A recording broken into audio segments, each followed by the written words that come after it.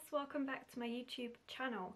So today's video, as I did mention in my previous video, is going to be a Draw This In Your Style challenge set by Myriam Tillison. It is of her Bloom piece and honestly I'm really pleased with how mine turned out but I'm going to talk more about that in the actual video so let's get to it. Before I get into how I did my version and all of that jazz, I actually just want to talk about what a Draw This In Your Style event is. For those that already know, that's absolutely fine, you don't have to listen to this bit, but for those that don't, basically it's where an artist does a piece of artwork and then gives permission for other artists to then recreate it in their own style. Now, this is with the nod of either tagging the artist in or using the certain hashtag, which is generally what happens, just to show the artist, yep, this is what I've done, I've taken part, and it also shows to other people that this artwork was not originally yours and where you got the idea and inspiration from. It's really, really handy. I've talked about it in the past and I do take part in quite a few of them. They're really good for you to be able to learn something from an artist that inspires you. So for this, Myriam Tillison is someone that I truly admire and I really wish I could recreate the level of emotion that she's able to portray in her pieces. She's an artist that, yeah, the emotion in her artwork is unreal and she tackles really big, almost in a, I kind of want to say taboo, but it's not so much anymore but she does. She tackles hard subjects, things like mental health and depression, things like this. She tackles that in her artwork and explores that in her artwork.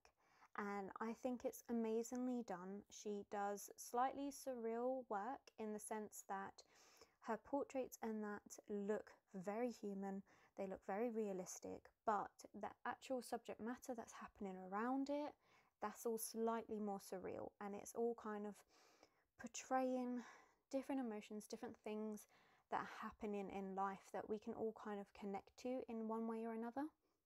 And yeah, honestly, it's a type of artwork that I genuinely just love. This meant that when it came to doing my version, I didn't want to do it completely different. So some people were doing it where it was just the hands and snake. Some people were doing it where it was just the portrait and then either like the snake wrapped around the neck or something like that. Some people were doing it on digital medium. Some were doing it, you know, there were so many different things. And for me, I didn't want to do that. This was a piece that I have always liked of hers. It's a piece that just has so much emotion in that I didn't really want to change it. And this is a similar art style to what I want to be creating anyway, where it's that semi realistic slash surreal portrait. So the portrait itself is very realistic, but the actual concept is slightly more surreal, and that's something that I really want to be doing. Obviously, my work is more whimsical, it's a little bit more lighter, it's more childlike, and just yeah, it's just got that nicer carefree element to it and it's much brighter colours whereas hers are dealing with much darker emotions and her pieces kind of reflect that in terms of the colour palette is a lot more muted and cooler. For me, I did contemplate changing the colour palette completely and for going trying to change this so it was a bit more whimsical but it, if I did that for me, I feel like I was doing a disservice to the piece because what inspires me so much about this piece is the emotion that it shows. And I I didn't want to lessen that in any way. So that's why I kind of kept very similar to the way that she had done this in the sense that what she's drawn, I have just drawn. Like I haven't bothered trying to change it.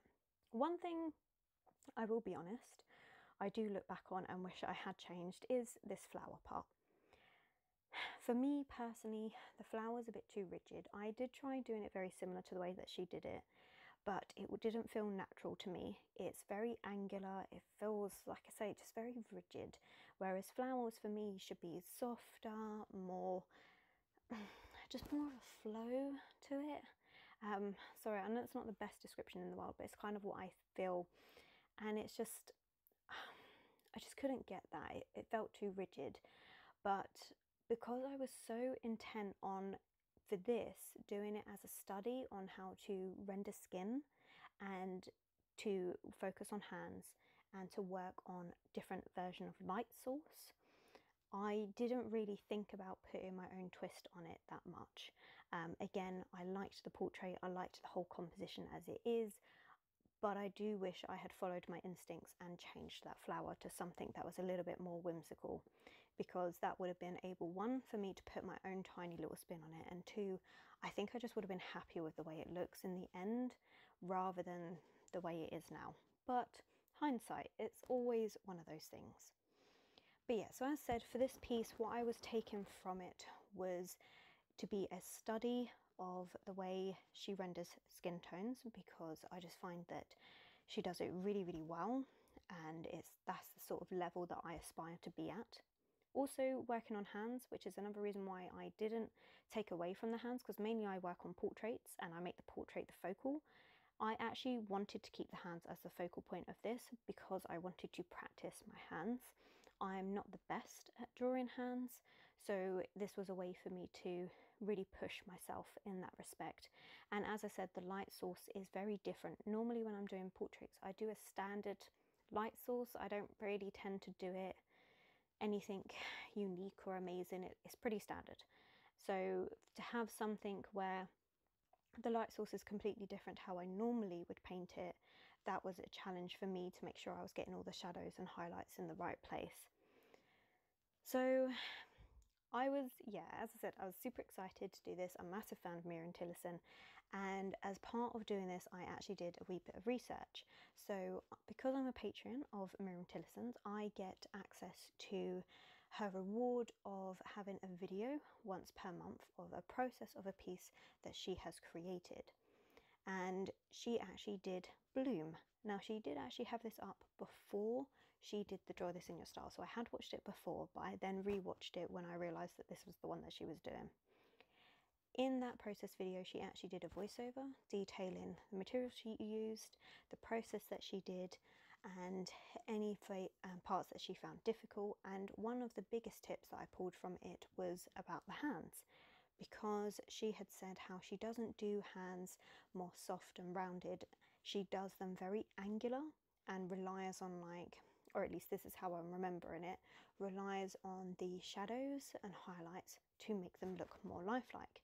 So I wanted to try and do that um, simply because, as I've mentioned, hands are something I struggle with. No matter how many times I do them, no matter how many times I practice, it is just the one part that I just really do struggle with getting them to look right. Um, so I really wanted to take on what she had said and try and put that into practice because I tend to try and do them a bit more rounded and maybe maybe that's where I'm going wrong. I don't know. But tried doing them more angular this time and I was a bit concerned because once I'd drawn them out I was like maybe the fingers are too long, maybe it's not going to look right, etc etc once we actually get there with all the shading and everything done, I genuinely really liked the way they turned out. I was really pleased with it. It went a lot better than what I thought. I was very nervous, as I said, with making hands the focal point of a piece, but it was definitely a challenge for myself that worked out and made me feel a little bit more confident. And I'm just hoping I can replicate that at some point. I did decide to also use gouache instead of watercolour so Myriam Tillison used watercolour for her piece. I'm using gouache, mainly because the watercolours I have just aren't varied in colours enough for me to actually make this work. So I decided to use my Reeves gouache. Because it's so transparent, I really had to layer up. So as you saw in the background, I had to layer up quite a few times before I could get to this depth of colour. And even then I reworked the hair a bit more. I did make a couple of changes. So the skin tone itself, I do quite a bit warmer than the way Myriam Tillison does hers. So she does hers with quite a lot of blue in, whereas I'm not doing that as much. I genuinely struggle to do cooler skin tones. It's just, probably it's just because I am more drawn to pieces of artwork that have brighter, more vibrant, warmer colours in than cooler tones. I do like cooler tones, don't me wrong, I do think there is a place for them and everything, but as a personal preference of mine, I prefer warmer skin tone. So I didn't put in as much cool tones as what she did. I did a peach base as a base colour and then I worked over the top of that. So I actually did do one slight difference though. I actually used burnt sienna as part of doing some of the shadows, especially on the hands. This was a bit unusual for me. I don't normally use a burnt sienna. Normally I blend a skin tone with a peach and a magenta and some white and then either little hints of yellow for the parts where they're supposed to be highlighted where the light's reflecting or parts of blue sometimes green depending on what's in the background for the darker parts of the skin. And I don't ever normally stray into brown colours but I really wanted to try it because of the way the light source was. The underside of the hands is really quite harsh shadows but I still wanted to give depth to those shadows. So I didn't want it to be one base colour so to try and give it a bit more depth but still keep it darker than the rest of her skin tone where the light would be falling onto it, but still keeping it in that warmer tone, which is what I wanted, I tried the burnt sienna and honestly, really pleased with it. I was quite surprised. It's probably a technique that I'm definitely going to use again and a colour I'm going to use a bit more in my artwork just because that I really feel it did give a bit of added depth to the piece in terms of the shadows. So like even where her belly part underneath where the hand is that I mainly did so I did do peach tone but I had then mainly then worked on it with the burnt sienna and some slight tones of blue and I just I really like the way it ends up I think I could for this I definitely feel like I should have pushed the skin tone a little bit more and got some more richer colours in but going in with these the brown to kind of bring out those shadows gave more of a depth to what I have got from my artworks normally. So that's something where I can say genuinely really pleased with that. Now obviously the reference is a lot more blues and as said I decided not to do that and to be honest maybe it would have worked better if I did I don't know because I can say at the end of this as I said I feel like I could have just kept working on that skin tone. For me it's one of those problems where originally I started off doing my portraits where I then did hardly any work on the skin tone and I left it very minimalistic with some line work just bringing out so kind of the feel of shadows and stuff but not actually working them in properly. And then I'm starting to change that to really wanting to render the skin but now I'm getting to the point of I don't know when to stop so a few of my portraits I've been doing recently in the morning are part of my a portrait a day challenge I've been overworking it and so then the colours are muddying and that's then not working. So I'm really trying to find that balance and I feel like I found it with this piece and it's something that I need to keep remembering and just walking that fine balance between overworking the piece to then underworking it. Like it's it's a fine balance, but I feel like I pretty much got it with this. So I do work in layers. So I did the background first, as you saw, then I worked on the skin for a bit, then I went back to the background, then I work on this bit. So it, just because each part of it is allowed to dry, because I like to do all my pieces generally in one sitting. Occasionally I will spread it out over a few, just depends how much time I've got. But with having so much time at the moment, I'm really enjoying just sitting down and just doing it in one sitting. So this took me about four, maybe five hours in total. But because of how fast the gouache dries, I'm able to just focus on a different part while another part dries to then rework in it. And that's important to do, and it's something that Eva Myriam Tillison suggested as well, is because when you work on one bit, so like I've put in the red of the flower here, but then that kind of showed me that the lips were looking really flat and lifeless, and they're not quite got the depth of colour that I want. So I go in and I sort that out. And then it also kind of made me realise, okay, so then parts around the shoulder, that's not quite as dark as where it should be because the red and that is making it look a little bit lighter. So I need to go in and touch that up. So that's something that is the good part about this because I have to wait for each area to dry. So I work on a different part. I can then look back and go, okay, so now this needs to change. So as you can see here, as I said, the mouth needed changing, so I added in a bit more red and a bit more magenta here. Same with adding a tiny bit more blush on her cheek and nose, just to give it that little bit more life. And then going in with slightly darker shadows around the edges, just to contrast it that little bit more. So that is important. The next part was the snake. So the snake is supposed to be transparent, and one way to do that was obviously keeping a lighter colour of whatever was in that background through the snake. So as you can see where the black background is, I have a lighter version of the grey. Where the hands and arms are, I have lighter versions of that skin tone that you can see through the snake. And it's also one thing that I did learn from Myriam Tillison's video is keep where the hand is, because the snake's wrapped around it, normally you would think, oh, okay, so it's going to be really dark shadows. That's not strictly true. Because the snake's transparent, it's going to make the shadows look lighter as well because you're seeing it through the snake. So I was careful not to overwork the shadows along the arm where the snake was wrapped around it, just to try and prevent that. So as you see here, I do use yellow for the lighter highlights. It just brings out again some of that warmth in the skin tone. And that's honestly, if I had been adhering more to Myriam Tillison's, I would have swapped out the yellow for a blue because she's got blue during these patches. She doesn't have yellow. So that's another reason why my piece will look so much warmer compared to her version.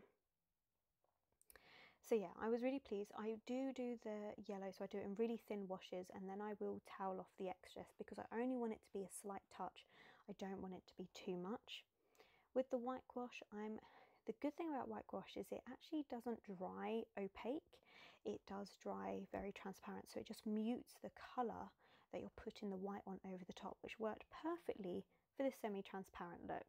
So because I was putting on the white so much, it doled out the colour of the rose um, so the vine of the flower and it doled out some of the skin tone that I'd put on there. So it just kind of gave off that fact that this is inside the snake. You can see it through the snake. Like that's I was really actually quite liked that. It's because one thing I can say that I do get frustrated with is is the white ink wash is that it's not very opaque so to do white highlights you either use the paper of the page or you use what I'm using here which is a gel pen. Just because it does make that bit much of a difference because the white, as you can see now that it's dried, it's not dried as a proper white, it is just dulling down the tone underneath it, which is great for these transparent effects, not so great when you actually want white on your piece. So generally I would either use white acrylic paint to actually get that um, more opaque look or white gel pen or even a Posca pen as I'm using here. So I'm trying to go in and just finishing up all of this with all the detailing and yeah, this was the bit where I really started to regret not changing that flower because I just struggled to make it look the way I wanted it to. It, like I said, it's just it's just a bit too rigid. These little crisscross effects here, I actually, again, that was something that Myriam Tillison did in her piece, and it just kind of helps give the scale effect of the snake. So nothing too much because you don't want too much of it because again, if you do overwork the detailing too much, it just it doesn't work for a piece. So instead, if you just do kind of touches of it, it will kind of carry on that illusion of it because again where you've got the light hitting it you're going to see it more in other places than you would so it's it's something that you've really got to balance so i would always do less and then if you feel it needs more you can go back over the top but never do loads of it straight away at first if you can help it and then on top of that white, I then want to go in with my gouache again, just to dull down the whites that I put on so that it looks more natural for the snake rather than seeming like I've just kind of crossed it out.